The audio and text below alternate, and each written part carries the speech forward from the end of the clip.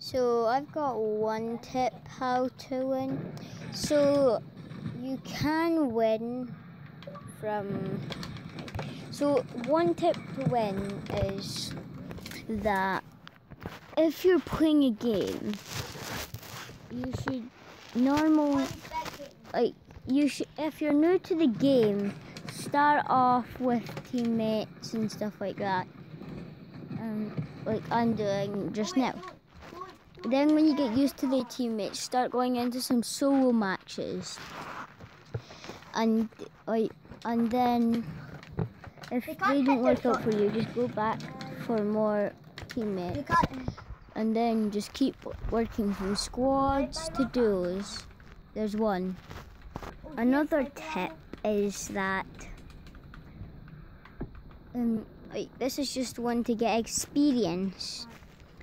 Um when like if you go and get like No! What bell is that? say if you find a chest, even if you don't need anything, you've got God loot. What? Still open the chest. It can get you XP and it can get you some, and it can get you some tiers. Also, if you come across any challenge and it's not far in the storm, at least try and get it. If you're too low and you don't think you can get it, don't go and get it.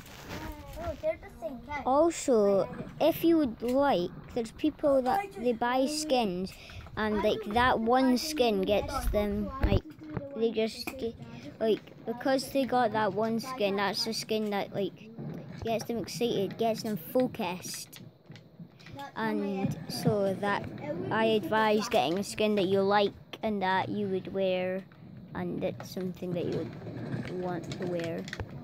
Now that we're coming to the end of the video, I'm just gonna add this little clip, this little like screenshot that I found. But the storm!